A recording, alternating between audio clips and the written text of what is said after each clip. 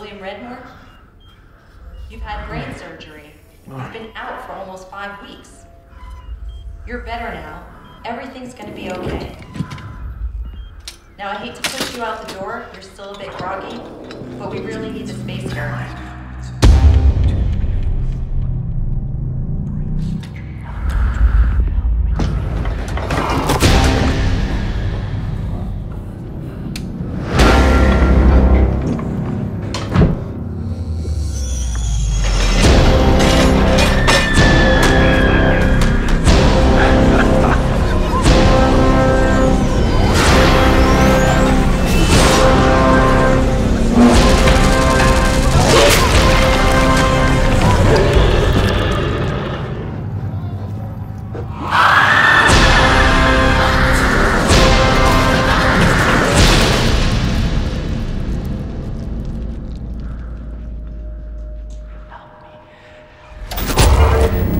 Thank you.